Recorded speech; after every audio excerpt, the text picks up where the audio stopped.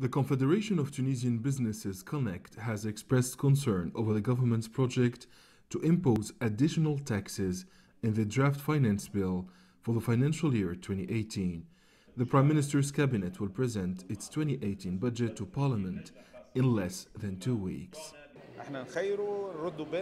Additional taxes will have a negative impact on the competitiveness of companies, their ability to promote investment, and their prospects for expansion, which will block the creation of new jobs.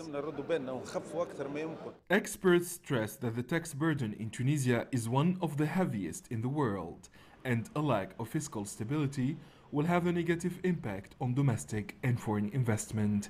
They want the authorities to look for alternative ways to finance the state budget.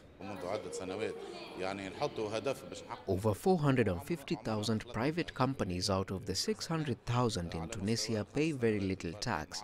They follow the flat rate system while they are making benefits. Integrating those businesses into the real system will guarantee new tax revenues estimated at 20 million dinars per year. The Tunisian Parliament's Finance Commission will discuss the 2018 budget project. MPs now assert that the economic situation is alarming. 70% of the 2018 budget will be dedicated to paying salaries. The situation is critical and Tunisians must contribute. The parliament listens to the people but also to the government.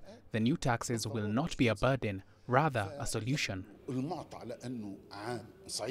the last five years, Tunisia's average growth rate was 1.5%. The government said it will reach 3% in 2018. Economists have urged the authorities to fight the parallel market, which represents 50% of the economic activity in the North African state.